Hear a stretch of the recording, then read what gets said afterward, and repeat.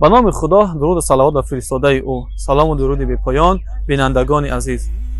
پیغمبر خدا درود و صلوات بر او میفرماید که مسلمان کسی هست که مسلمان های دیگر از دست و زبان او در امین باشند.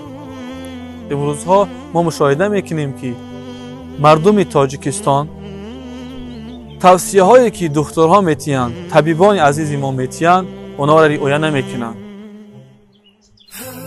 دخترها توصیه می‌دهن که بعد از سلام نکنی اما اینا سلام می‌کنن.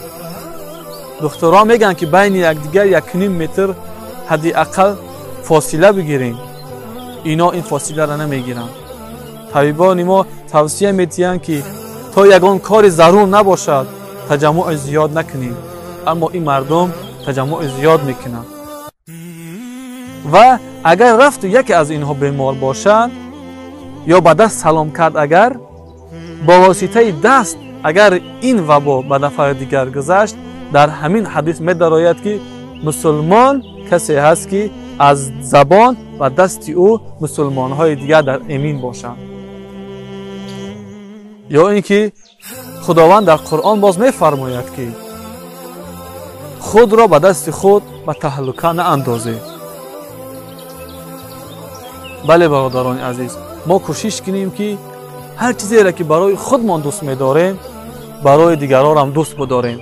اگر ما بخواهیم که پدر و مادر ما صحت و سالم باشند اگر ما بخواهیم که زن و فرزند ما سالم باشد پس همین هم برای دیگران بخواهیم.